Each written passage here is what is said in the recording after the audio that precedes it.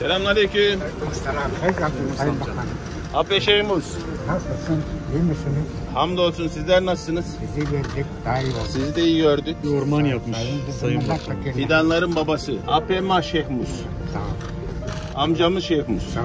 Allah razı olsun. Teşekkür ederim. Allah sizden razı olsun. Şehir Hastanesi'nin ormanını da size emanet Başım ediyorum. üstünde Sayın Bakanım. Ama burası büyük bir yer olacak. Hem üniversite var, hem şehir hastanesi var. Hem burada bakacağız.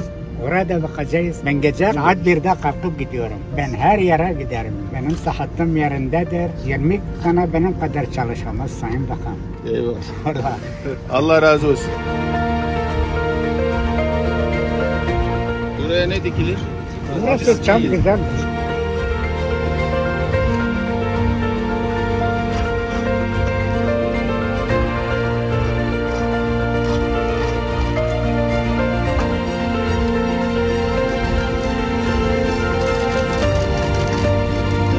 Hem üniversite gençliği hem hastane çalışanları ve hasta yakınları için geniş bir alanı ağaçlandıralım istedik.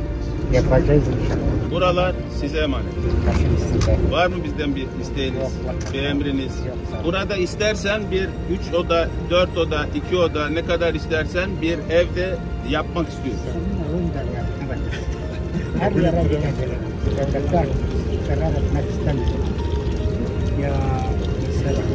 Ben yapacağım. Devletin kesesinden olmaz. Allah'a emanet. Dua edin bize inşallah.